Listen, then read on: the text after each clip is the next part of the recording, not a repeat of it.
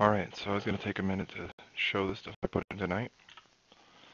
So, when Mack's running and you rotate the camera, he continues running the direction he was going.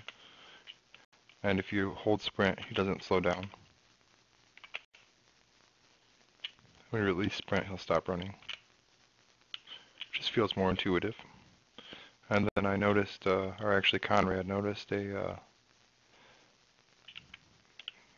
bug where if you held jump for just a second and released it, he uh, got stuck jumping forever.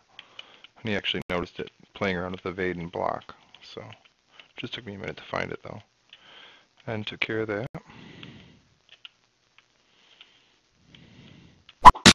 Just went through and tried and cleaned up a couple of bugs.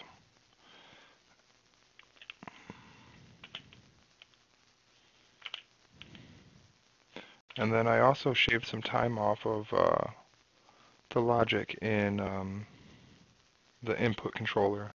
Uh, I was building three dictionaries every frame, so it was about 0.05 or 0.06 milliseconds when not casting, and then double that when casting. So I probably shaved off about uh, 0.1 seconds while casting.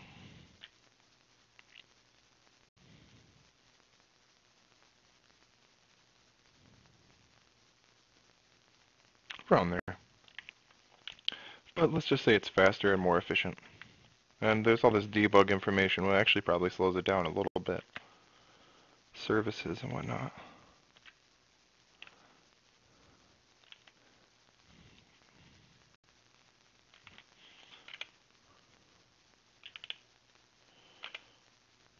So, that's all for tonight. Thanks for watching.